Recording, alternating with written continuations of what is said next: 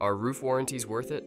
A roof warranty can provide invaluable protection for both you and your home. Hi, I'm Joe, an estimator at Roofcrafters Roofing. Today we are going to explain why a warranty is worth it and avoid some of the pitfalls with working with certain contractors. After spending a considerable amount of money for your new roof, you invested a lot of time and cost into a new addition on your home. Because of this, you want to protect your new investment.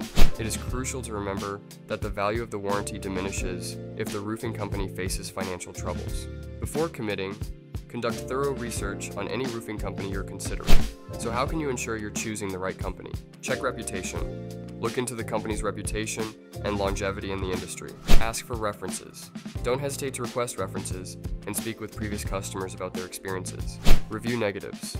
Dive into negative reviews to understand potential red flags and identify any recurring issues. Understanding how your contractor handles problems is a great indicator of their trustworthiness. Make sure you review the terms and conditions of the warranty carefully. Pay attention to coverage details, duration, exclusions, and the claims process. Remember, your roof is a significant investment, and the decisions you make will matter to your home and family.